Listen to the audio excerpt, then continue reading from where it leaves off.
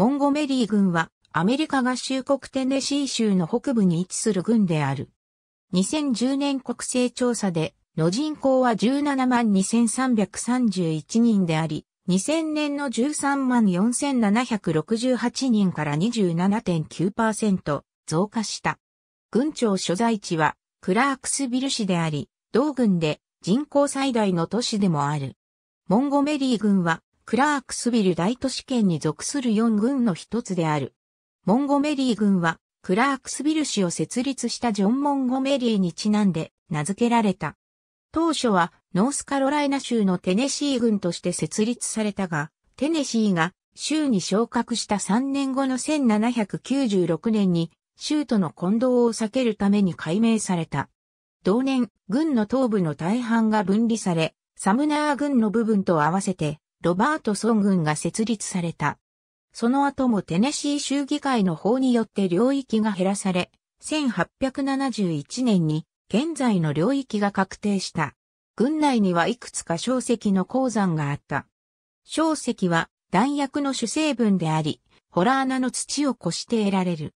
ストリングタウンの近くにあるベラミー洞窟に2ダースほどの小石ロカソンが痕跡が残っており、大規模な操業が行われていた。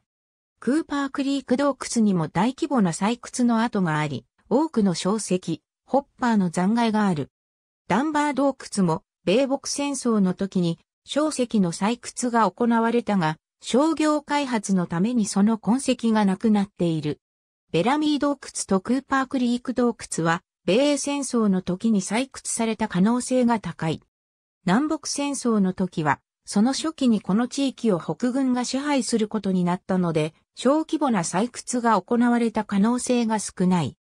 アメリカ合衆国国勢調査局によれば、軍域全面積は544平方マイルであり、このうち陸地539平方マイル、水域は5平方マイルで、水域率は0.84%である。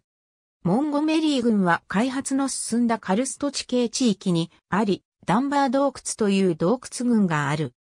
ダンバー洞窟はダンバー州立公園の中心であり、ダンバー州立公園は広さが110エーカーあって、テネシー州立公園群の中でも観光客が多く訪れているところである。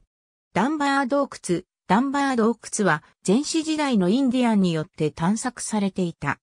籐で作った松明の名残が洞窟で見つかっており、考古学者は中で多くの人工物を発掘した。2005年1月15日に行われた探索で、パークレンジャーのエイミー・ウォレス、歴史学教授のジョー・ダグラス、地元歴史家のビリー・フランク・モリソン、地質学者のラリー・ E・マシューズが洞窟の壁にインディアンの絵を発見した。ノックスビルのテネシー大学考古学者によるその後の調査で、これらの絵はミシシッピ文化のインディアンが残したものと確認された。これらインディアンの絵は洞窟ツアーで見ることができた。